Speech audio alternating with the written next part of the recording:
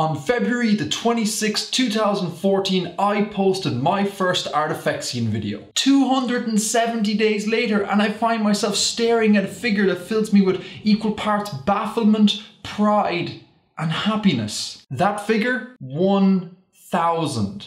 I mean, that is way more than I can count on my meat digits. Like when I started off on this little venture of mine, I figured the total number of people visiting my little corner of the internet here would effectively be zero. But 1000 is undeniably a non-zero figure. Like the concept of a thousand real people taking a real interest in the sometimes incoherent ramblings of a nerdy space obsessed Irishman is incomprehensible to me. Like, just beyond everything I had hoped for. So thank you, Internet. Thank you for watching and supporting Artifexian. You have been so good to me that I periodically find myself puking rainbows at the thought of your awesomeness. Again, and it cannot be overstated enough. Thank you. A massive shout out needs to go to the Reddit community, and in particular the world building subreddit, the space subreddit, and last but definitely not least, the Ireland subreddit. Most of my newest subscribers have come from these communities and every time I post there, my content is met with overwhelming positivity and encouragement. Redditors, you guys are great, never change. Well, unless it's for the better, then maybe do change, but if it's not, then then don't. Anyways, change or no change, you guys are the best of us. Now, I believe when a YouTuber hits an arbitrarily chosen base 10 milestone, Internet Protocol dictates that we hold a Q&A. So let's hold a Q&A! So dear subscribers, new and old, to celebrate this most auspicious of days, my name is Edgar. People on the internet call me Artifexian. Ask me anything. And I mean literally anything.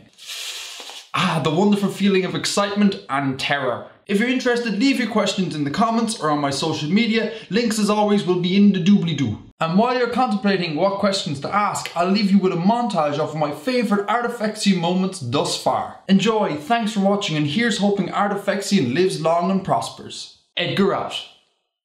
YouTube, Edgar here, and welcome to Artifexian. Here you will learn everything you ever wanted to know about world building, and then some. YouTube, Edgar here, and welcome to Artifexian. Here you will learn everything you ever wanted to know about world building, and then some. I thought to myself, Mr. Sagan, you're onto something there. Tangent alert! Heavy water, or deuterium oxide, is almost identical to regular light water, except it is 10% heavier. The Sudbury Neutrino Observatory used a thousand tons of heavy water stored over 2 kilometers underground in the mine to build a neutrino detector. But then NASA's Kepler mission came along, and its findings blew astronomers' minds the world over. These supermassive stars are the celestial rock stars.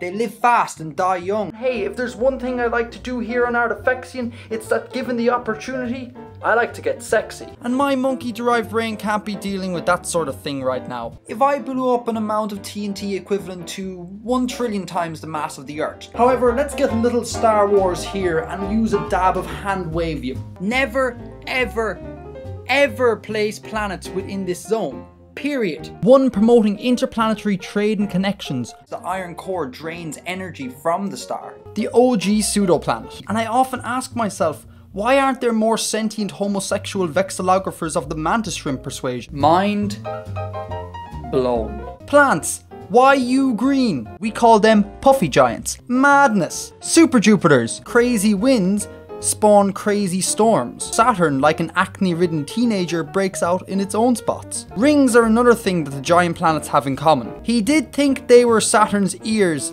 and that Saturn periodically would devour them, internal diamond hailstorms, a liquid diamond ocean, and maybe even diamond icebergs. Get it? Lawless? Saturn wouldn't float, just die painfully. So then astronomers were all like, yeah, maybe these aren't planets. Damn son, this cat be cray cray. Cutely, its two moons were given the nicknames Rudolph and Blitzen. Next, decide if your binary pairs are to be close binaries like Tatooine, or distant binaries like anti-Tatooine. You want to build a multiple star system like the one in Battlestar Galactica? Through careful and deliberate empirical study, it has become clear to me that Franz Liszt was not a human, but in fact a mantis shrimp, in a human-shaped exosuit. So, our solar system. Four terrestrial planets, two liquid giants and two ice giants, zero floaters.